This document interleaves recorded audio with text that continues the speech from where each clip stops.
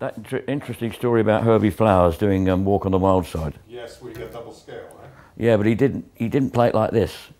I thought he did, so I, I would. It's just a double stops thing with the, the keynote and the major third at the top.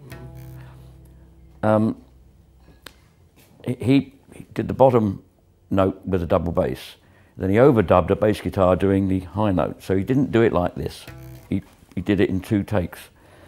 But then when we did um, Still Searching, a Kinks track on Phobia, I, I've always mucked about with that interval anyway.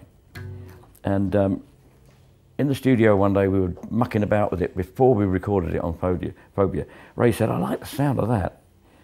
Can I just record it? So I recorded just this little bass break.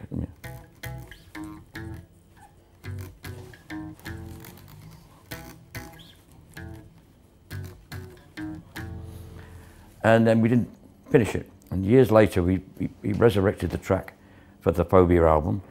And uh, he got the tape of me doing that and he inserted it on the finished Still Searching. And it's all inspired by Herbie doing that, but not doing it all in one take. That's a fabulous bass line. I, I know it well. Play it again for me, please.